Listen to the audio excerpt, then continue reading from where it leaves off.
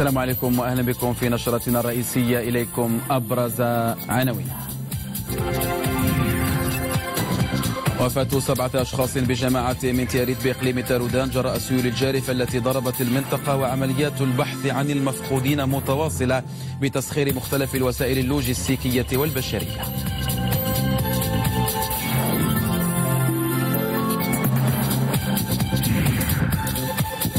مواصلة اتخاذ الإجراءات الضرورية لاستكمال أوراش الحماية الاجتماعية. تأكيد رئيس الحكومة خلال المجلس الحكومي الأسبوعي الذي تدارس وصادق على عدد من النصوص القانونية والتنظيمية.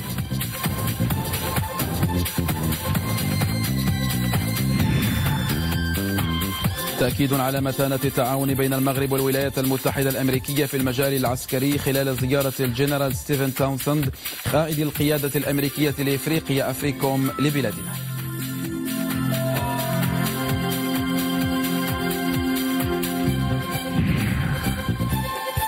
ضمن منافسات الدورة الثانية عشر للألعاب الإفريقية المغرب يتصدر سبورة الميداليات في رياضة الملاكمة.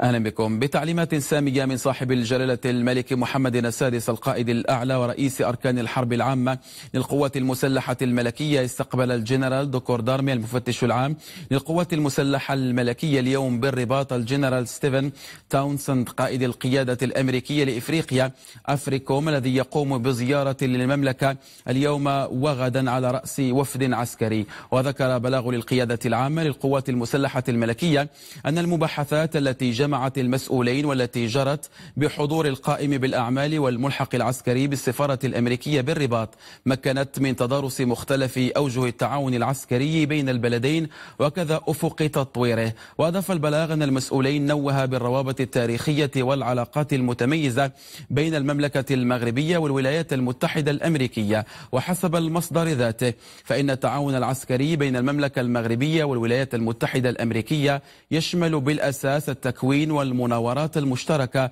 وزيارات المعلومات وكذا تبادل التجارب والخبرات بهدف تحسين قابلية العمل المشترك بين القوات المسلحة الملكية والقوات المسلحة الأمريكية. وتجدر الإشارة إلى أن القيادة الأمريكية لإفريقيا والقوات المسلحة الملكية تقيمان علاقات شراكة تقوم على الاحترام والثقة المتبادلين والاحترافية. وسنعود لتفاصيل زيارة قائد القيادة الأمريكية لإفريقيا ضمن هذه النشرة.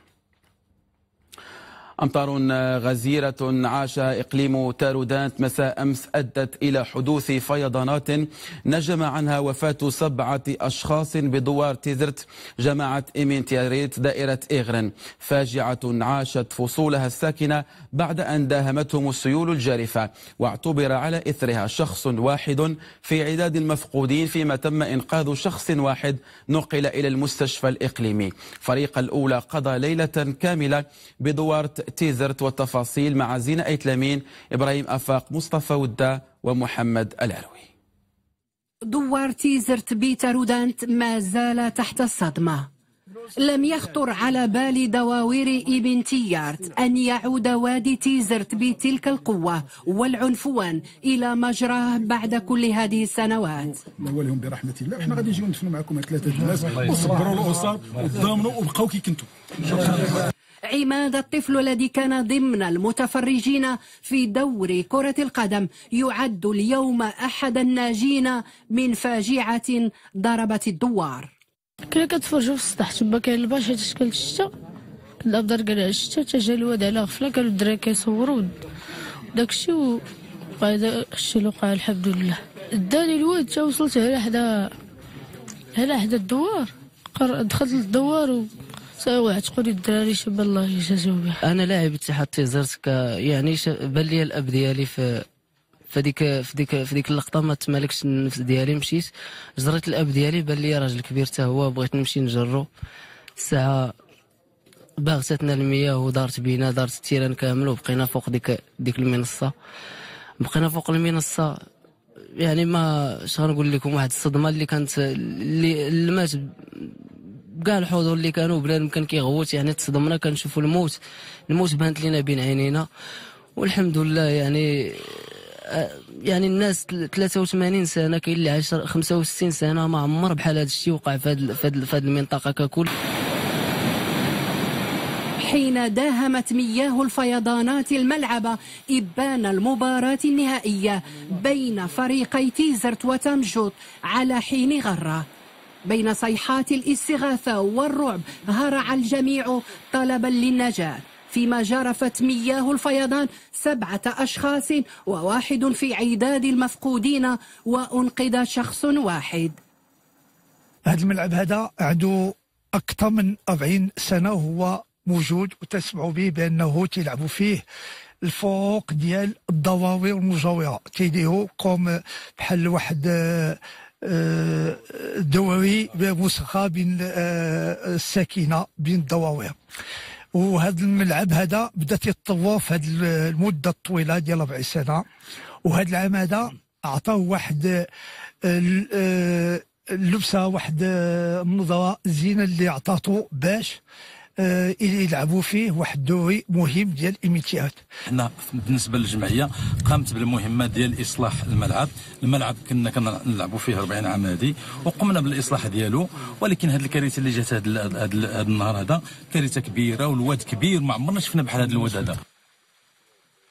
من هنا مرت تلك السيول التي أحدثتها الأمطار الغزيرة. عاد الوادي هذا الصباح لسكونه المعتاد لعقود ألفته الساكنة على هذه الشاكلة. كنت كنلعب تما ملي عندي 18 عام ديك البلاصة.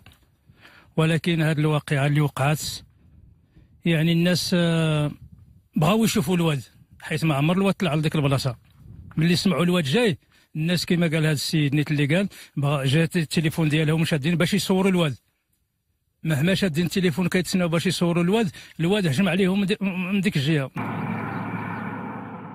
تم فتح تحقيق من طرف السلطات المختصة تحت إشراف النيابة العامة حول ظروف وملابسات الحادث. وفور حدوث الفاجعة تجندت الساكنة المحلية إلى جانب مختلف الجهات المعنية من وقاية مدنية ودرك ملكي وقوات مساعدة لإنقاذ الضحايا والبحث عن المفقودين عملية سخرت لها كل الوسائل اللوجستيكية من آليات وسيارات إسعاف بالإضافة إلى تسخير مروحية وطائرة من نوع ديفاندر لمواصلة البحث عن الشخص المفقود وتقديم الدعم للمواطنين بهدف التخفيف من من تداعيات الفيضانات التي عرفتها المنطقة.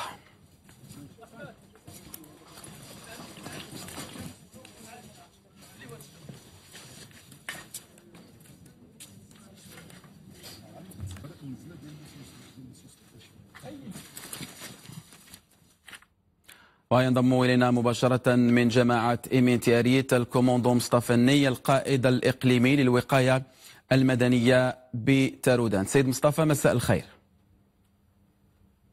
مساء الخير. إذا بداية ما هي آخر حصيلة للفاجعة وماذا عن مواصلة البحث عن الشخص المفقود؟ لا زالت الحصيلة لم تتغير بعد وهي سبعة وفيات وإنقاذ شخص ولا زال شخص واحد في عداد المفقودين. والأبحاث لا زالت مستمرة حيث تم تعبئة كل الوسائل اللوجستيكية والبشرية لتسهيل عملية البحث والإنقاذ إذا سيد مصطفى عملية البحث صادفت صعوبات من جراء هطول أمطار غزيرة بالمنطقة نجمت عنها سيول بنفس وتيرة مساء أمس كيف تعاملتم مع هذه الإكراهات؟ بالفعل آه، فرق الإنقاذ آه، واجهت هذه هذه العشية. آه، بعض الصعوبات تتمثل في هطول أمطار كثيرة وغزيرة. مما أدى إلى فيضانات وسيول بالنهر مما حالت دون استمرار عملية البحث والإنقاذ. نعم كسؤال أخير سيد مصطفى ما يندى عن الإجراءات التي تم اتخاذها من طرف السلطات المحلية؟ donc بالنسبة للاجراءات للسلطات المحلية تم تم تكوين لجنة إقليمية آه، بعين المكان آه، متكونة من مختلف المصالح تحت الإشراف الفعلي والمباشر للسيد صاحب آه، صاحب السيد عامل صاحب الجلاله على إقليم تارودانت نعم. نعم ال commandant مصطفى النية القائد الإقليمي للوقاية المدنية بتارودانت شكرا لك على كل هذه التوضيحات. وفي جو مهيب وري الثرى جثامين ضحايا فاجعة ملعب تزيرت الذين قضوا نحبهم في الفيضانات التي عرفتها المنطقة وذلك بحضور أهالي الضحايا وعشرات من المواطنين من المنطقة وخارجها.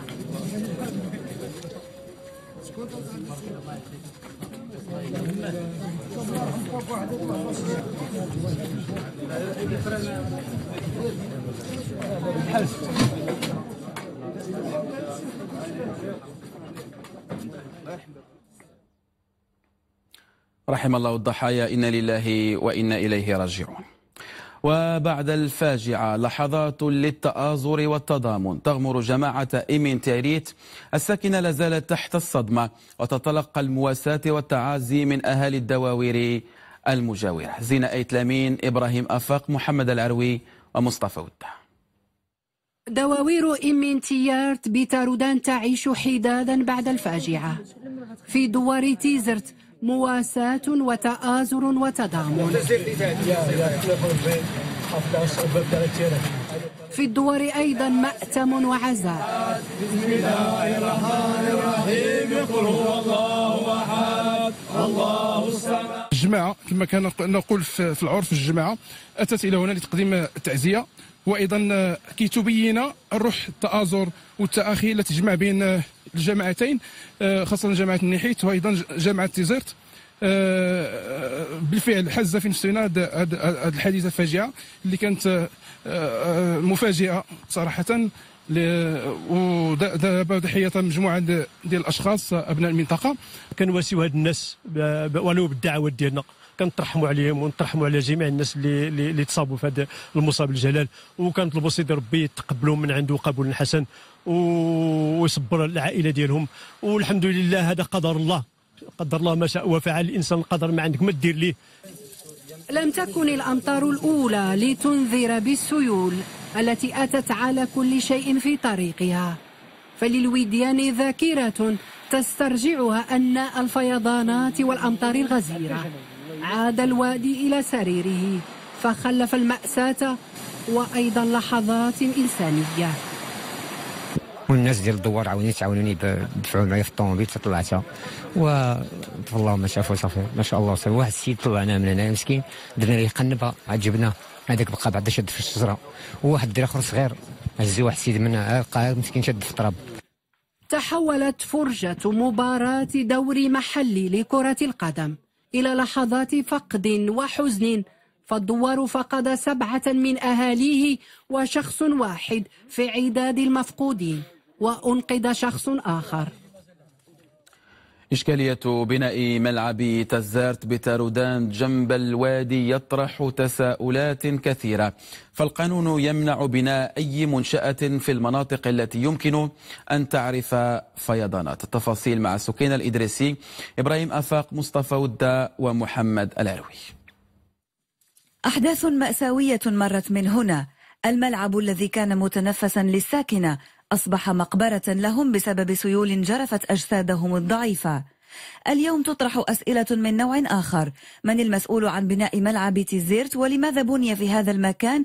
القريب من الوادي رغم منع القانون 3009 لإقامة حواجز أو بنايات أو تجهيزات أخرى من شأنها أن تعرقل سيلان مياه الفيضان. هذا الملعب حسب المعطيات المتوفرة من مصادر موثوق بها. أنه تم الإنجاز ديالو منذ 30 عام هذه وتيخضع مرة مرة للتاهيل من طرف الجمعية اللي هي جمعية تيزيرت اللي تنميه التعاون في إطار واحد الاكتتاب تيديروه ولا تويزا ولا باش يوفروا للشباب والمواطنين واحد الفضاء لممارسة كرة القدم.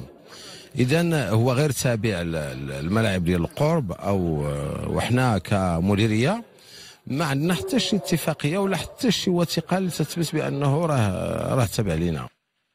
منذ أزيد من أربعين سنة كان يلعب شباب المنطقة هنا ولم يحدث أن عرف أي نوع من الحوادث.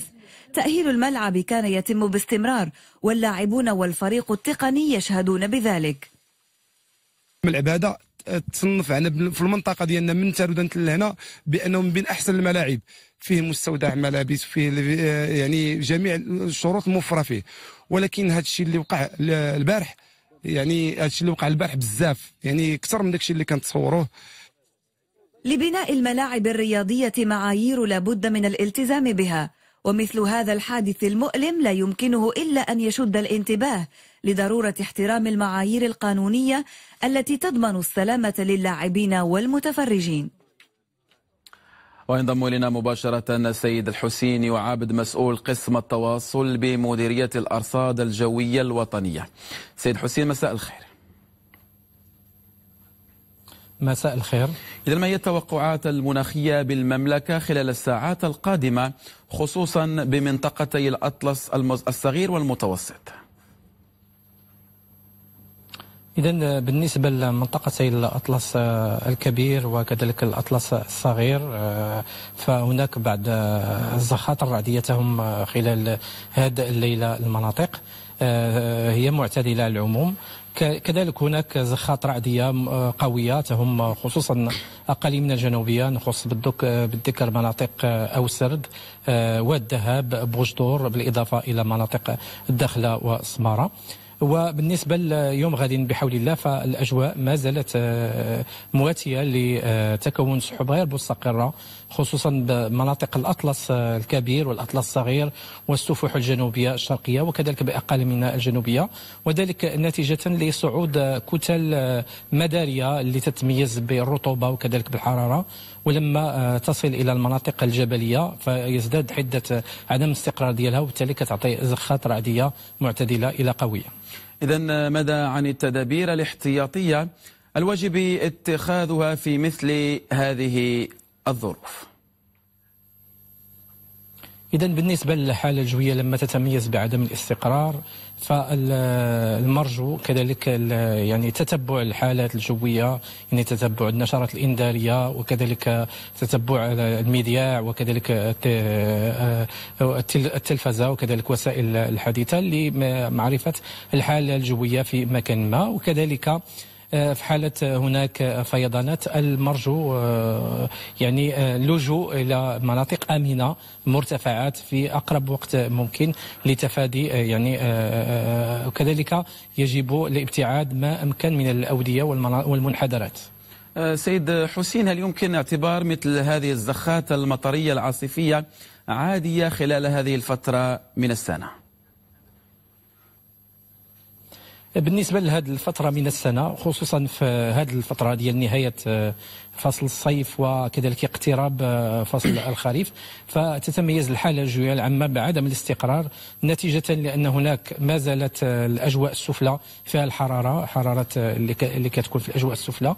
وكذلك مرور في بعض الأحيان لكتل هوائية باردة في الأجواء العليا. وبالتالي تولد عدم الاستقرار خصوصا في هذه الفترة وكذلك آه، فترة آه، شتنبير. وبالتالي فيجب أخذ الاحتياطات آه، وكذلك تتبع النشرات ومزيدا من الحيطة والحذر. نعم سيد الحسين يعابد شكرا لك على كل هذه التوضيحات. وبسبب الأمطار الرعدية القوية التي عرف إقليم تارودانت أمس أعلنت وزارة التجهيز والنقل واللوجستيك والماء في بلاغ لها أن حركة السير مقطوعة على مستوى الطريق الجهوية الرابطة بين تاليوين وتفراوت عند المقطع الطرقي الرابط بين أساكي وإغرم وذلك بعد ارتفاع مستوى منسوب مياه عدة شعاب على مستوى بعض المقاطع الطرقية. تحويل الاتجاه ممكن انطلاقا من أساكي عبر الطريق الطريقة الوطنية رقم 10 نحو التقاطع مع الطريقة الوطنية رقم 7 مرورا بألوز ثم نفس الطريقة الوطنية في اتجاه إغرم. وللمزيد من المعلومات يرجى الاتصال بالرقم الهاتفي الظاهر على الشاشة. فاجعة تارودان شكلت المحور الأبرز في اجتماع مجلس الحكومة الذي انعقد صباح اليوم. رئيس الحكومة السيد سعد الدين العثماني وبعد أن أعرب عن تعازيه لأسر الضحايا أكد أن الجهات المختصة باشرت التحقيقات لمعرفة ما جرى بالتحديد في ملعب تارودانت. عرفت آه، ناحية تارودانت أمس واحد آه، مفجع. ديال السيول التي فاجأت بعض الشباب وهم يلعبون كرة القدم في ملعب. ونترحم على الشهداء الذين توفوا في هذا الحادث المفجع. ولا تزال السلطات المحلية والسلطات المعنية كلها معبأة للعثور على المفقودين الآخرين. ونحن نترحم على هؤلاء الشهداء وكان نرجو الله سبحانه وتعالى الصبر والسلوان الأهل ديالهم.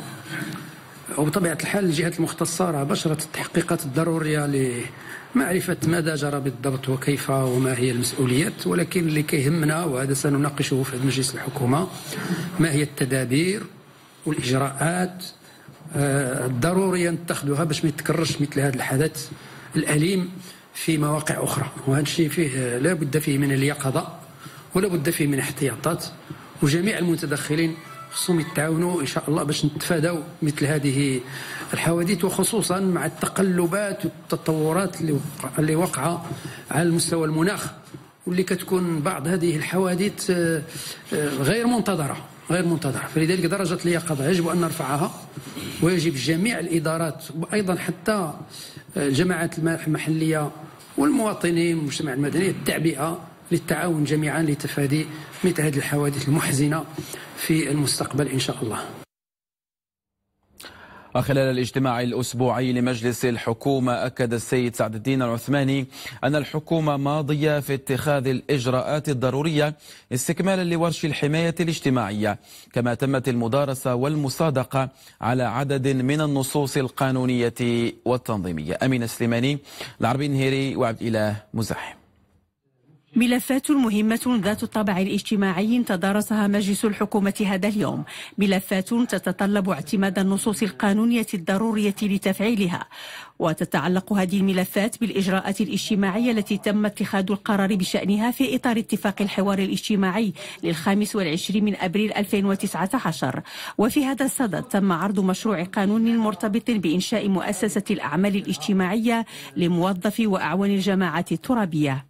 هذا الإجراء سيهم حوالي 150 ألف موظفة وموظف وسيمكن من توفير عدد من الخدمات الاجتماعية المتعلقة بالسكن والصحة والتعليم وغيرها من الخدمات الاجتماعية المهمة لتثمين عمل هذه الفئة على غرار الخدمات المقدمة من قبل جمعيات الأعمال الاجتماعية في قطاعات أخرى. وبموجب نفس الاتفاق تم تدارس مشروع تحديد مقدار التعويضات العائلية لفائدة عمال ومستخدمي القطاع الخاص. المشروع نص على رفع قيمة التعويضات من 200 إلى 300 درهم ابتداء من فاتح يوليوز 2019 ويهم هذا الإجراء ما يناهز مليون ومئتين ألف شخص. كما ستنعكس أثاره على جوج المليون ومئة ألف طفل. مما يعني إضافة ما يناهز جوج المليار جوج فاصلة خمسة مليار درهم سنويا. المجلس ناقش أيضا إدخال تعديل على المراسيم العامة فيما يخص تعميم التغطية الصحية الموجهة للمهن الحرة والمستقلين من غير الأجراء وذلك بتحديد اللائحة الأولية للمهن. وهذه المهن تشمل 14 مهنة منها الأطباء أطباء الأسنان البيولوجيون الصيادلة المهن القانونية والقضائية وآخرون. بدءا من المرسوم العام الذي ستقع أو حصلت المصادقة عليه اليوم سيقع إصدار المراسيم الخاصة بكل مهنة. معتبرا ذلك ورشا اجتماعيا هاما سيؤثر بشكل بالغ في على تكلفة التغطية الصحية مما سيمكن من تخفيف المصاريف الصحية بالنسبة للأسر المعنية. المجلس تدارس وصادق بالموازاة على سلسلة من المراسيم يهم الأول منها إقرار تدابير خاصة بتسوية وضعية بعض أطر هيئة التدريس فيما يهم المرسوم الثاني مجالس الأحواض المائية والتدابير اللامركزية والتشارك المائي. مشروع مرسوم ثالث تمت المصادقة عليه وهو مرتبط بمجال المناجم وبالتحديد الملح والرصاص إذ يحدد قائمة الأماكن القائمة عليها الحقوق العرفية.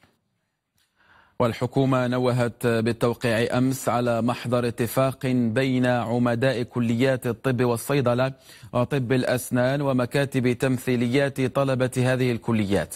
نتابع تصريح الوزير المكلف بالعلاقات مع البرلمان والمجتمع المدني الناطق الرسمي باسم الحكومة في هذا الشأن. كما تم التأكيد على أن ما أفضى إليه من اتفاق هذا الحوار سيتم بموجبه الاستجابة إلى المطالب الوجيهة للطلبة وأيضا إيقاف الإضرابات التي شهدها, شهدها الفضاء الجامعي الصحي. ولهذا أؤكد على أنه أمس تم توقيع بين عمداء الكليات والهيئات مكاتب الممثلة للطلبة على الاتفاق المتعلق بهذا الأمر والذي كما سبق أن أشرت س بموجبه ستتم الاستجابة إلى المطالب الوجيهة للطلبة وأيضا إيقاف الإضرابات التي شهدها الفضاء الجامعي الصحي. وبالعودة إلى زيارة الجنرال ستيفن تاونسند قائد القيادة الأمريكية لإفريقيا لبلادنا. كان للمسؤول الأمريكي ندوة صحفية بالرباط تابعها عن الأولى عماد أمسمير وعبد الرحيم فيلول. زيارة الجنرال ستيفن تاونسند قائد القيادة الأمريكية لإفريقيا أفريكوم على رأس وفد عسكري إلى بلادنا. يدخل في إطار تعزيز التعاون العسكري بين المملكة المغربية والولايات المتحدة الأمريكية حيث تتعزز هذه العلاقات كل سنة من خلال برامج تعاون عسكري لا سيما مناورة الأسد الأفريقي التي تعد من بين التدريب بين الحلفاء الأكثر أهمية في العالم.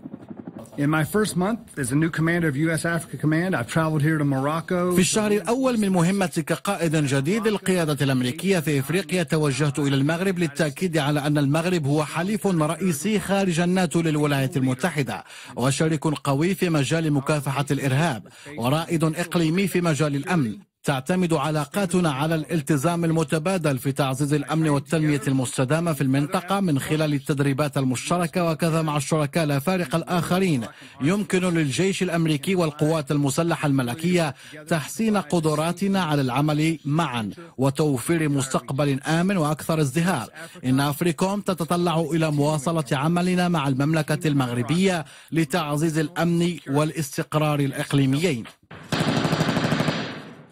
التعاون العسكري بين المملكة المغربية والولايات المتحدة الأمريكية يشمل بالأساس التكوين والمناورات المشتركة وتبادل التجارب والخبرات بهدف تحسين قابلية العمل المشترك بين القوات المسلحة الملكية والقوات المسلحة الأمريكية. I think, uh... أعتقد أن تعاون المغرب مع أفريكوم كبير جدا. سأقدم لكم بعض الأمثلة. كعمليات حفظ السلام التي تقوم بها القوات المسلحة الملكية في إفريقيا. الأسد الإفريقي هو أكبر تمرين في إفريقيا. يستضيفه المغرب منذ سنوات. هذه الدورة ستضم 21 بلدا شريكا أي حوالي 3000 مشارك. كما يتعاون المغرب مع الولايات المتحدة الأمريكية في مكافحة الإرهاب.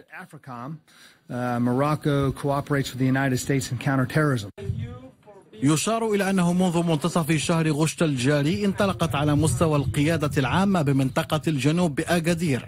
اجتماعات للتخطيط برسم دورة 2020 لتدريب الأسد الأفريقي بين القوات الأمريكية والقوات المسلحة الملكية وذلك بحضور ممثلين عسكريين عن عدد من البلدان. وكان الوفد العسكري الأمريكي الذي يترأسه الجنرال ستيفن تاونسند قائد القيادة الأمريكية لإفريقيا قد قام بزيارة لضريح محمد الخامس حيث ترحم على روح جلالة المغفور لهما محمد الخامس والحسن الثاني طيب الله ثراهما وفي ختام الزيارة وقع الجنرال ستيفن تاونسند في الدفتر الذهبي للضريح. علم لدى مصدر عسكري أن البحرية الملكية قدمت المساعدة خلال ليلة الأربعاء الخميس بعرض المتوسط ل 156 مرشحا للهجرة السرية أغلبهم ينحدرون من بلدان إفريقيا جنوب الصحراء والذين واجهوا صعوبات على متن قوارب تقليدية. وأوضح المصدر ذاته أن الأشخاص الذين جرى إنقاذهم والذين كان البعض منهم في حالة صحية متدهورة تلقوا الإسعافات الأولية على متن وحدات خفر السواحل التابعة للبحرية الملكية قبل أن يعادوا سالمين إلى مختلف موانئ شمال المملكة. نتوقف لحظة عند جديد المال والأعمال وأخبار البورصات الوطنية والعالمية مع ياسر العمراني. ياسر مساء الخير. مساء الخير قيس. البداية ياسر ستكون بمهرجان العنب. إذا زراعة العنب قاطرة للتنمية المحلية في إطار مخطط المغرب الأخضر شعار الدورة الثانية عشر لمهرجان العنب بالجماعة الترابية واد الشراط المهرجان يهدف إلى التعريف بهذا النوع من الزراعة بالمنطقة وإبراز مستوى التقدم التقني والتكنولوجي المحقق في هذا المجال. المتابعة رفقة أحمد العلوي وسمير بركات تعد سلسلة زراعة الكروم من أهم السلاسل الفلاحية بإقليم بن سليمان فهي تعد مصدرا رئيسيا للدخل بالنسبة لفلاح المنطقة. وما تنظيم هذا المهرجان السنوي للعنب إلا فرصة للتعريف بمؤهلات هذا القطاع بالمنطقة وفضاء لتبادل الخبرات والمستجدات التقنية في مجال زراعة الكروم. بالنسبة لهذا الموسم هذا مزيان كنبينوا فيه حتى العنب ونبينوا فيه كلشي. وكنبيعوا فيه مزيان وكنتعرفوا على ناس مزيانين ناس هما كيخدموا في هادشي ديال الفلاحة وتقنيين وكيعرفوا في هادشي مزيان علينا حنا. هذا المعرض تيمكننا باش نتلاقاو مع كليان تنوريوه التقنية الجديدة ديالنا. هذه التقنية تتسمى ال pergola. تتمكننا باش تعطي ال double ديال la production par rapport la technique اللي كانت شحال هادي. وتتمركز زراعة العنب أساسا على مستوى جهة الدار البيضاء سطات التي تمثل 41% من الإنتاج الوطني. تليها جهة مراكش أسفي بنسبة 24% ثم جهة الرباط القنيطرة وجهة فاس مكناس. الحمد لله الآن كاين تقريبا على المستوى الوطني 420 430 ألف طن ديال الإنتاج هي بزيادة 25% بالنسبة يعني السنة الماضية. وكاين 5000 عائلة اللي هي كتعيش وكتخدم وكت يعني بالاستغلال ديال هذه الفاكهة اللي هي مطلوبة واللي هي محبوبة عند المواطنين. وعلى هامش افتتاح هذه الدورة تم التوقيع على اتفاقية شراكة بين المديرية الإقليمية للفلاحة ببن سليمان وجمعية رواد لتنمية قطاع العنب تتعلق بتحويل زراعة الحبوب بزراعة العنب وذلك بغرس حوالي 500 هكتار في أفق 2021 المهرجان عرف تتويج مالكة العنب وعروضا في فن الفروسية التقليدية.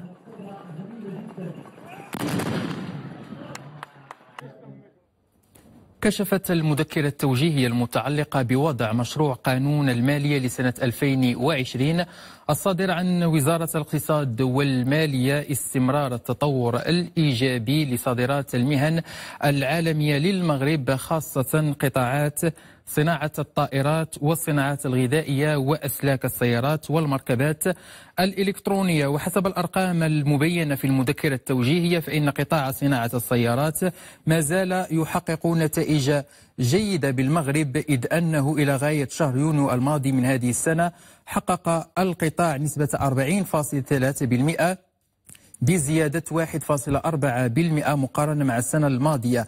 أما فيما يتعلق بقطاع صناعة الطائرات فقد حقق خلال الخمسة أشهر الماضية من بداية سنة 2019 حقق ارتفاعا بلغت نسبته 8% تم بمدينة يوكوهاما اليابانية عرض التجربة المغربية في مجال التمويلات والطاقات المتجددة لفائدة مقاولات وفاعلين يابانيين وذلك خلال لقاء على هامش أشغال مؤتمر طوكيو الدولي السابع للتنمية بإفريقيا.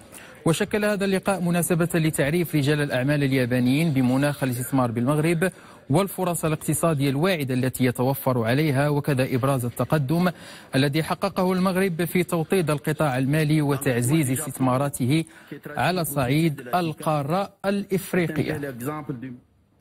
في الخبر الاقتصادي الدولي خفضت وزارة التجارة الأمريكية تقديراتها لنمو اقتصاد الولايات المتحدة بشكل طفيف إلى 2% لكن أكدت أنه نمو ثابت بالمقارنة مع بداية هذا العام وبالوتيرة السنوية سجل إجمالي الناتج الداخلي للولايات المتحدة زيادة نسبتها 2% من أبريل إلى يونيو في تقديرات تتطابق مع توقعات المحللين مقابل 2.1% في التقديرات السابقة. نتابع الآن النسب المحققة من جانب بورصة الدار البيضاء وإلى جانبها المؤشرات العالمية أسعار النفط وأسعار العملات.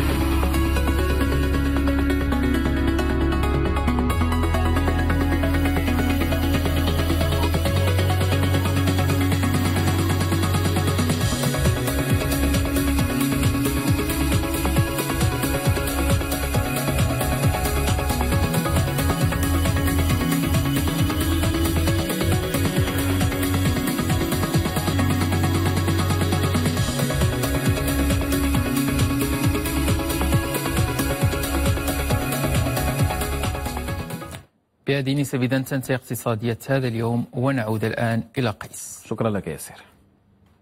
لمنطقة أزلال مؤهلات سياحية تجذب زوارا من مختلف مناطق المملكة. سياح وباحثون في علم الآثار وجدوا المكان مناسبا للاستمتاع بالمناظر الخلابة والاستكشاف. جماعة سيدي يعقوب واحدة من نقاط الجذب التي نتعرف عليها أكثر في روبورتاج سكين الإدريسي وعمر الجليدي بين جبال الأطلس الكبير والمتوسط مؤهلات طبيعية وأسرار تاريخية تدفع الزوار للاستكشاف. هنا بجامعة سيدي يعقوب بإقليم أزلال يستقبلك سكان المنطقة بصدر رحب الصغار كما الكبار. دورت على الحكيم عندنا الطبيعة بزاف وكيجيو عندنا الحباب كيقضيو أياماتهم والعطل هنايا وكيعجبوهم الحال. كنتمناو من السياحة الداخليين حتى هما يجيو باش يكتشفوا هاد الطبيعه هذه اللي كاينة. وهاد المناظر اللي كاينة في الجبل وخلابة فيها مؤهلات سياحية راه كاينين سبعة عيون مائية وشلالات إموزار بأيد فلالات. والأشجار المثمرة وأشجار غابوية عشاق السياحة الجبلية يتسلقون جبال الأطلس للوصول إلى المنابع المائية الطبيعية وللاستمتاع بمناظر بانورامية ساحرة. بعض الزوار يحركهم الفضول والمتعة.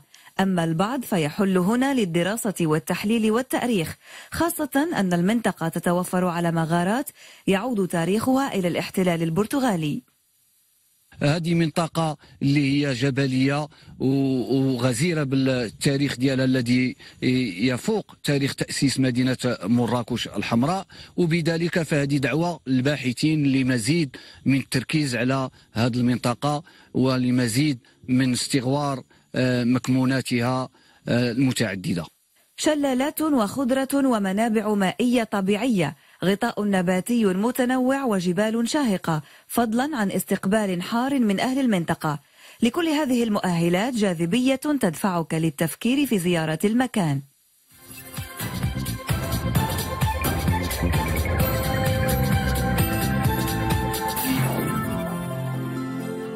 الاضطرابات الجوية تجتاح عددا من مناطق العالم في هذه الفترة. أمطار غزيرة وصفت بالغير المسبوقة تهاطلت على جنوب غرب اليابان خلفت مقتل شخصين. حصيلة أولية أعلنت عنها السلطات تزامنا مع تحذيراتها من فيضانات وانهيارات أرضية ودعواتها لإجلاء أكثر من 600 ألف شخص.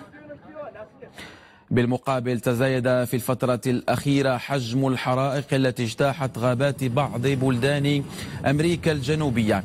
ففي بوليفيا التهمت الحرائق المشتعلة منذ أسابيع غابات شرق البلاد مما تسبب في إتلاف نحو مليون هكتار من الغطاء النباتي والغابوي. بعيدا عن أخبار الكوارث الطبيعية تحدثت الأنباء القادمة من سوريا عن سقوط نحو 16 قتيلا من الأطفال والنساء وإصابة عشرات آخرين في قصف شنته طائرات النظام شمال غرب البلاد. خالد الأحمدي. مجلس الأمن الدولي من المرتقب أن يعقد جلسة قبل نهاية الأسبوع الجاري بخصوص التصعيد الذي تشهده محافظة إدلب جراء قصف القوات النظامية السورية المتواصل للمنطقة. يعلن مصدر دبلوماسي. نفس المصدر يؤكد انطلاق مناقشات بين بعض أعضاء المجلس حول مشروع قرار تقدمت به الكويت يدعو إلى هدنة وإلى حماية المدنيين والطواقم الطبية. الطيران الحربي السوري يستهدف بشكل شبه يومي مناطق عدة في ريف إدلب الجنوبي وكذا في بعض قرى شمال حماة وشمال شرق اللاذقية. المرصد السوري لحقوق الإنسان يفيد بأن القوات النظامية تحرز تقدما في محافظة إدلب إذ سيطرت منذ ليل الأربعاء المنصرم على بلدتي التمانعة والخوين وثلاث قرى شرق خان الشيخون التي أخضعتها مؤخرا لنفوذها. التوتر الذي تشهده محافظة إدلب منذ حوالي أربعة أشهر أودى حسب المرصد السوري لحقوق الإنسان بحياة 950 مدنيا وأجبر أزيد من 400 ألف من أهالي المنطقة على النزوح. وافق رئيس الوزراء الإيطالي المنتهية ولاية جوزيبي كونتي اليوم على تشكيل حكومة جديدة بين حركة خمس نجوم والحزب الديمقراطي واعدا بالعمل من أجل إيطاليا. أكثر عدالة تطلع بدور ريادي في أوروبا. وزيرة خارجية الاتحاد الأوروبي تعلن اليوم أن الاتحاد يؤيد عقد محادثات بين واشنطن وطهران لكن شرط الحفاظ على الاتفاق النووي الحالي مع إيران حيث تشهد العلاقات بين البلدين توترا كبيرا منذ انسحاب الرئيس الأمريكي دونالد ترامب من الاتفاق الموقع عام 2015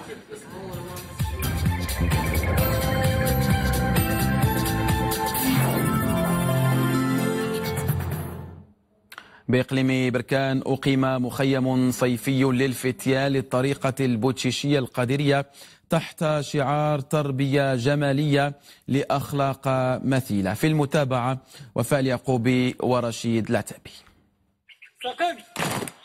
تحية العلم. تربية جمالية لأخلاق مثالية. شعار اختارته الزاوية القادرية البوتشيشية لهذا المخيم الصيفي الوطني. من خلاله يسعى المنظمون إلى تقويم سلوك الشباب والأطفال وفق منهاج معتدل عجبوني فيه المرافق الصحي ديالو كلشي متوفر. الحمد لله كاين مطعم كلشي متوفر فيه فريشة كلشي متوفرين القاعات والاقسام كلشي متوفرين. وبالنسبة للتكوينات كاين التكوين العلمي كيديروا لنا فيه مادة الحديث ومادة الفقه والسيرة النبوية. وكاين وكاين تكوينات ترفيهية كنديروا فيها مسابقات ألعاب. هذا المخيم كيركز على الجانب الأخلاقي وكيدير بزاف الأنشطة اللي مميزة اللي زوينة تعجبهم. عجبني المخيم بزاف حيت أنا سبق لي حضرت مخيم ديال الجهوي وكذا عجبني بزاف حيت هذا مخيم وطني تعرفت على الأصدقاء جدادي. وسمع من بزاف الأنشطة مشينا مشينا الشاطئ الأحمر مشينا البيسين بعد استفادتهم من مجموعة من المخيمات الجهوية يأتلف هؤلاء الأطفال والشباب وعددهم 500 من المتميزين والمتفوقين في هذا المخيم. هنا تتنوع الأنشطة بين ما هو أكاديمي تربوي وترفيهي.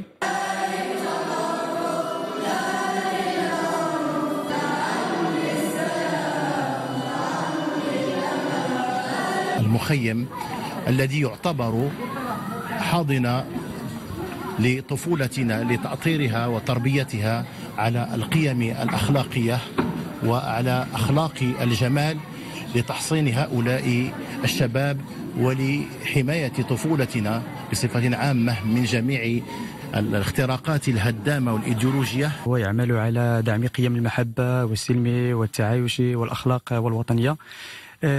فهو كذلك يهدف إلى تربية الأطفال آه، على روح الجماعة على إكسابهم مهارات حياتية ويومية آه، مما يعمل على تحصينهم من السلوكيات وحمايتهم من المخاطر والثلوثات. برنامج متنوع وفعال يتوخى من خلاله القيمون على المخيم ترسيخ ثقافة الحب والتسامح والتعايش بين الأديان في ظل تعاليم ديننا الإسلامي المعتدل. في الخبر الرياضي الملاكمة المغربية تتصدر صبورة الميداليات في الألعاب الإفريقية بحصدها لأربع ميداليات ذهبية وفضيتين. قائمة بالعوشي ومحمد النصيري سيداتي سادتي والآن حمود كان الأول من افتتح باب التتويج بالذهب للملاكمة المغربية. فاز باللقب في مباراة خاصة بوزن أقل من 57 كيلوغرام على حساب بيتر بيتا كابيجيه من أوغندا. والحمد لله كانت الميدالية الذهبية ما كانت سهلة لأن تعذبنا عليها بزاف وترينينا عليها كانت تمارين قاسية وخدينا 16 على برا. و fédération الحمد لله fédération royale marocaine de boxe ساندتنا بجنود خفاء ديالها. توالت النزالات القوية للملاكمين المغاربة. الذين خرجوا متفوقين في وزن أقل من 63 كيلوغرام؟ نادر عبد الحق يتوج بطلا ويفوز بالميدالية الذهبية على حساب ريشار كوليلوي من جزر الموريس. أنا فرحان بزاف بهذه الميدالية وبهذا هذا. آه، كنبغي ندير جميع المغاربة خصوص مدينة فاس وكنشكر الجمهور بزاف. آه، كان مساندني وسط مؤازرة قوية للجمهور وعشاق الملاكمة تمكن الملاكم علالي طريق ابن حي المرنوسي من الفوز بالميدالية الذهبية بعد مقابلة قوية أمام دافيد كافوا من أوغندا. المواجهة المغربية أوغندية أعطت التتويج للملاكمة المغربية بفضل أداء جيد لطارق الذي يتمكن من الفوز بالميدالية الذهبية في وزن أقل من 75 كيلوغرام. كان الماتش صعيب آه، بحكم أن الأفارقة كتعرفهم صح واخا كيجي فيهم الضرب ما ما كيتشدوش. والحمد لله بفضل كنشوف والدي حاضرين وكاع اللي عزاز عليه حاضرين. جبت لي عدي الحمد لله. الله يبارك فيك. الذهبية الرابعة في هذا الدور النهائي كانت من توقيع خديجة المرضي التي كانت متألقة وفازت بالذهب أمام ريدي غامان من موزمبيق. كما كان منتظرا خديجة المرضي قدمت أداء جيدا وأثارت إعجاب المتتبعين. المقابلة كانت مشوقة والفوز يعود للمغرب. من أصل ست نهايات المغرب يفوز بأربع ميداليات ذهبية وميداليتين فضيتين. نبقى مع الألعاب الإفريقية وهذه المرة ضمن منافسات كرة المضرب. حقق المنتخب الوطني ثلاث ميداليات فضية واحدة وبرونزيتين. تفاصيل نهائي الزوجي ذكور في روبورتاج. ابتسام أدريس قائمة بالعوشي وأمين الشرقاوي. بملاعب نادي السككيين بالرباط وضمن منافسة الألعاب الإفريقية حقق المنتخب الوطني لكرة المضرب ميدالية فضية في مسابقة نهائية الثنائي رجال. آدم منذر ولمين وهاب. انهزم أمام الثنائي التونسي محمد عزيز دجاز ومنصور اسكندر. هاد دابا كيف شتيو خسرنا la finale في في, في ال double. الدراري لعبوا مزيان داروا المجهود كبير. توانسة هما لعبوا ماتش قوي. خسرنا غير de justesse شوية ديال شوية ديال الزهر وشوية ديال la précision في هذاك الوقت المعين. وشوية عندك لامين تا هو في deuxième set كلاها شوية في l'épaule. donc ما كانش عنده service بحال بحال ديما. الثنائي المغربي قدم أداء جيدا رغم الضغط الكبير للثنائي التونسي الأخير تمكن من إنهاء المباراة لصالحه بمجموعتين نظيفتين تفاصيلهما 6 4 و 7 5 وكان الثنائي المغربي قد بلغ المباراة النهائية بعد تغلبه في مباراة النصف النهائي على الثنائي المصري كريم مأمون وشريف بجولتين نظيفتين. أنا فخور جدا بما قدمته منذ انطلاق المنافسة المواجهات كانت صعبة والمستوى كان جد مرتفع وفي النهاية نجحت في الخروج بميدالية برونزية في الفردي وفضية في الزوجي وما زلت أطمح في الحصول على ميدالية أخرى في مسابقة الفرق وفي منافسة الثنائي سيدات نجحت كل من سارة عقيد ورانيا عزيز في إحراز الميدالية البرونزية بعد انهزامهما في النصف النهائي أمام الثنائي المصري رنا أحمد وميار شريف بمجموعتين دون مقابل. تفاصيلهما 6 4 و 6 4 إحنا فرحانين الحقيقة بهذه النتيجة ولكن كنا كنتوقعوا نديروا أحسن حيت مازال حيت عندنا القدرات اللي كان يمكن لنا نتمكنوا نربحوا. وكما كتشوف هاد لورغانيزاسيون وكلشي كان مزيان n'y a pas de regret, on est content et on remercie la fédération. ليصبح رصيد المغرب من الميداليات في مسابقة كرة المضرب. ثلاث ميداليات فضية واحدة وبرونزيتين ضمن منافسة الألعاب الإفريقية. المنتخب المغربي لكرة اليد تمكن بدوره من الفوز بالميدالية البرونزية عقب فوزه على منتخب الجزائر في مباراة الترتيب وذلك بحصة 25 مقابل 22 هدف. محمد أمين النوري. بعد أن تعثر المغرب في بلوغ نهائي مسابقة كرة اليد وأقصي على يد منتخب أونغولا بسبب غياب التركيز وكثرة الأخطاء. كان على العناصر الوطنية استغلال مباراة الترتيب أمام الجزائر التي أقصيت من دور النصف النهائي أمام مصر بفرق بين في النتيجة والأداء. هي ميدالية نحاسية لا تقبل القسمة. تبارى لنيلها كل من المغرب والجزائر في مباراة بدت في كثير من أطوارها متكافئة وإن مالت بعض الشيء للعناصر الوطنية التي أنهت الشطر الأول من المباراة بحصة 11 هدف مقابل 12 لصالح المنتخب المغربي. خلال الجولة الثانية اشتدت المنافسة وعادت الكفة لتقف عند المنتصف مانحة التكافؤ للمنتخبين. تارة ولتميل في أحايين أخرى لصالح المنتخب المغربي الذي أبان عن الكثير من الخبرة والذكاء خصوصا في الأنفاس الأخيرة من المباراة. حيث سيطر المنتخب الوطني وحول تكافؤ الأهداف إلى تفوق استقر على فرق مريح نسبيا توقف عند 25 هدفا مقابل 22 للجزائر التي خرجت صفر اليدين من المسابقة. فيما طوق البرونز أعناق العناصر الوطنية التي ضيعت فرصة التباري على الذهب أو دونه الفضة واكتفت بمعدن النحاس إلى العناوين. وفاة سبعة أشخاص بجماعة من تيريت بإقليم التارودان جراء السيول الجارفة التي ضربت المنطقة وعمليات البحث عن المفقودين متواصلة. بتسخير مختلف الوسائل اللوجستيكية والبشرية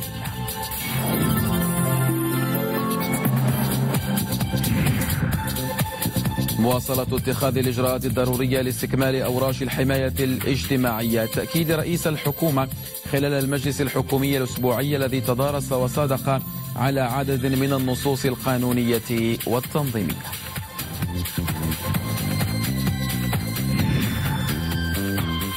تأكيد على متانة التعاون بين المغرب والولايات المتحدة الأمريكية في المجال العسكري خلال زيارة الجنرال ستيفن تاونسند قائد القيادة الأمريكية لإفريقيا أفريكوم لبلادنا.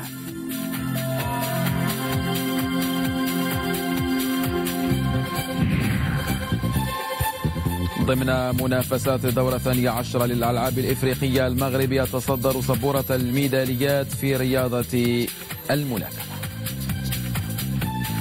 ألقاكم غدا بإذن الله.